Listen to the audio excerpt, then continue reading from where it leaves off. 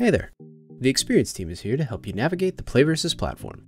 Before we get started, we want to call out that our team continues to make improvements to the interface of our product, so the things you see here might not be in the same spot later on down the road. If at any point you notice a button or link has moved, don't hesitate to reach out to us on the Customer Experience team for help tracking it down. We'll be walking you through some of the upcoming changes here, but rest assured many more are on their way. Thanks in advance for your understanding. Now on to what you came here for. To access the PlayVS platform, head over to playvs.com and select Login. Whether you're a player or a coach, you'll be greeted by the dashboard upon logging in.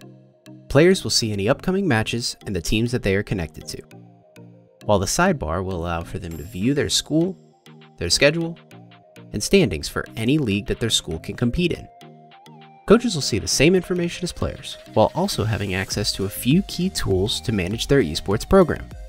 To make this guide as comprehensive as possible, we'll be showcasing the coach's view when logged into PlayVS.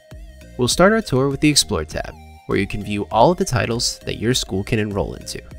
Clicking on a game will reveal the leagues available for that specific esport. Select View League to see the details for competing in that specific league, such as player requirements, match times, and dates to save in your calendars. If you want more information on how to enroll a team for the upcoming season, check out the video in the description below. In the sidebar, there are several options that can be used to manage your esports program. My school will take you to an overview of the teams, coaches, players, and any recent match results for the school. Coaches can use this page to verify additional coaches and players, as well as make any adjustments to the billing information or settings for the school itself. Note that the Grow Your Program section in the banner on this page will provide an easy way to refer additional coaches and players to your school, or to PlayVS in general. Manage Teams will allow for coaches to view their created teams and make any roster adjustments needed as they prepare for their match. Note that the banner on this page allows for the coach to manage their enrollments for the season, as well as access historical information by adjusting the school year. Schedule will show all upcoming matches for the teams that the user is connected to. Selecting the Past Results tab here will also show the results for any matches that those teams have competed in previously. The standings page showcases the placement of all the teams in any of the leagues that are available to your school. The drop-down menus here will allow for you to filter by a specific league, season, or stage. Scrimmage is a great place to set up practice matches for your teams.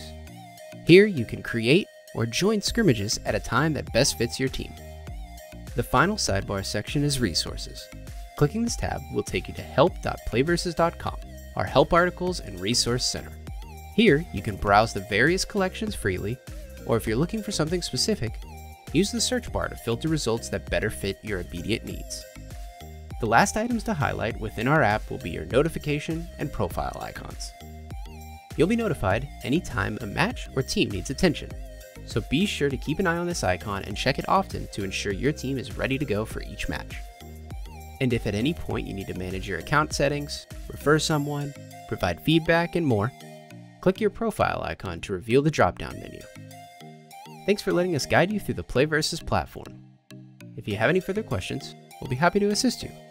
Reach out by using the icon in the bottom right, or email us at support at playvs.com.